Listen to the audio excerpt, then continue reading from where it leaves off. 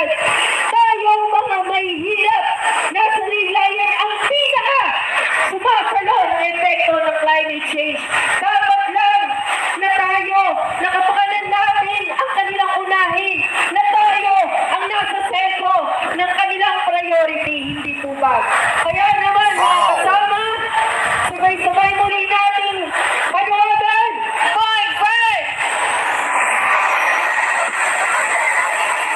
umaga po sa ating lahat. Kami po sa Kongreso ng Pagkakaisa ng Maralitang Luzon. Ah, baling bilang mga Maralita, kami yung unang tinatamaan. Halimbawa, biglang nagpangalak, yung tinatamaan niya mas mga kababaihang Maralita. Kaya ang napaisip kami. Kaya napagawa ako ng, ng tula hinggil sa isang katanungan. Nais ko lang pong basahin itong tula. Tanong. Ngayon po'y nais ko lang magtanong sa mga talagang marurunong. Pagunlad ba'y paanong isulong kung kahulugan nito'y paurong? Matatawag nga bang kaunlaran kung sinisira ang kalikasan? Nagtayo ng tulay at lansangan, nagpatag naman ng kabundukan. Bundok na'y kalbo sa pagmimina, mga puno'y pinagpuputol pa, negosyante tumaba ang bulsa, subalit hirap pa rin ang masa. Sangkaterba ang ginawang plastic, nalaksang tubo ang ipinanhik, ngunit plastic sa dagat sumiksik, sapat ilog sa plastic tumirik. Anong klaseng pagunlad ba ito? Progreso ba'y para lang kanino? Anong pagunlad ba ang totoo kung nawawasak naman ang mundo?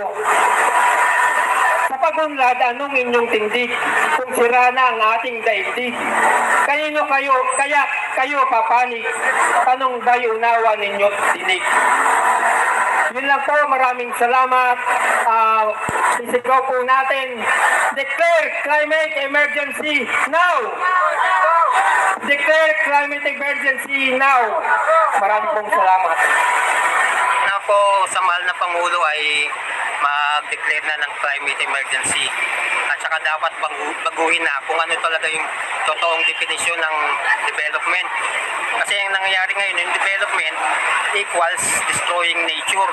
Dapat development talaga kasama yung tao, hindi nasisira yung kalikasan. Ano po yung ah, specifically yung si- sinasabi po natin na development na nakakasira po sa ating kal- Ay marami kalikasan? tulad ng pagmimina, Oh, yun, pagkatayo ng gusali at saka mga tulay. Yung mga pabahay po, Pero, yun, yung mga pabahay po ba yung tinutukoy nila? Yung, yung kalikasan, pinapatag yung mga bundok, nawawa, Mm. nakakalbo yung mga kabundukan natin.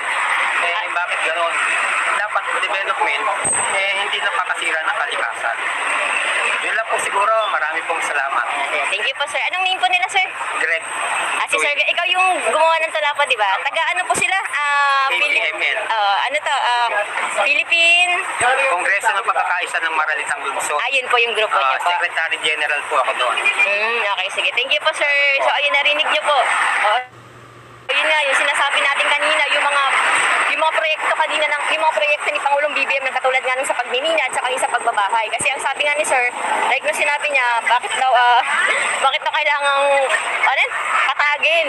Syempre, kung di mo naman papatagin guys, paano ka makakagawa ng bahay, di ba? So, pero sa bagay, opinion naman, opinion naman kasi nila yon Pero para sa akin naman kasi, yung mga pabahay kasi na ginagawa ni Pangulong BBM is malaking bagay yun para sa mga indi- indigent people.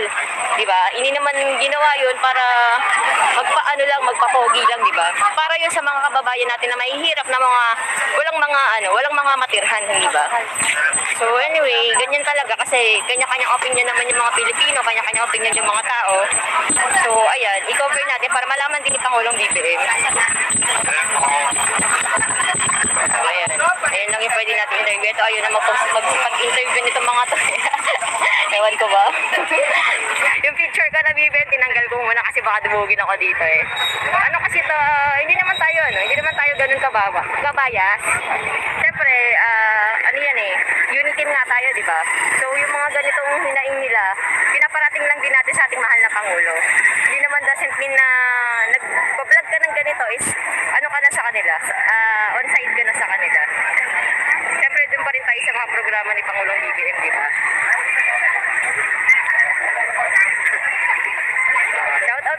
Tigi, ano? Kigul. Natawa lang ako kasi sabi niya, aw, dilawan ka na pala. Hindi tayo dilawan, guys. Hindi rin tayo tiklawan. Naka-BBM tayo, guys. BBM vlogger tayo. So, gusto lang natin na i ano natin, ah, i-cover yung mga ganito. Siyempre, mga kababayan din natin to eh. So, may mga hinaing din sila na supposedly dapat ah, napapakinggan din ng ating mahal na Pangulo, di ba? Like nga nung sabi nung ah,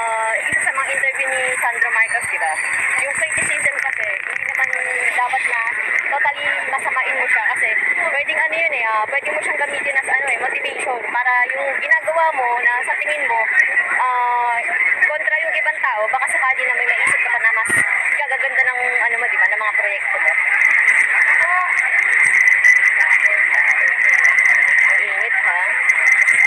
So hanggang lang sila guys, hindi sila nakarating na Malacanang. Kasi may mga pulis na, na dito sa may pa lang eh. Oh, bawal kasi mag-rally doon sa may Malacanang. Kailangan mo ng permit doon. Ah, actually dapat dito bawal din eh.